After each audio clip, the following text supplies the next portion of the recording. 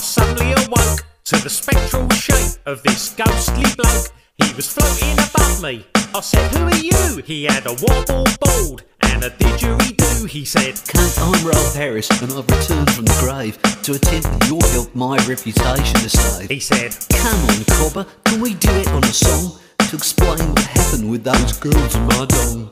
I said, I'm not sure. I'd have to hear that explanation in case people think I'm a pedo by association. And this is what he told me it was sexy kids, sexy kids.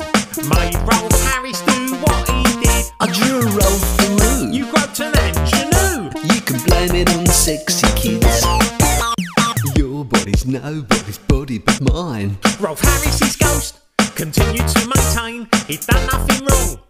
And he tried to explain, he said, in his Australian voice, he pulled a stylophone out and did two little boys. He said, My songs and my paintings will now be forgotten because of my penchant for young girls' front bottoms. He said- Surely my cartoon club and royal portraits offset my diddling with my daughter's mates. Oh, I'm a national treasure in the UK and Australia. But you couldn't keep your hands off kids' genitalia. It was sexy kids,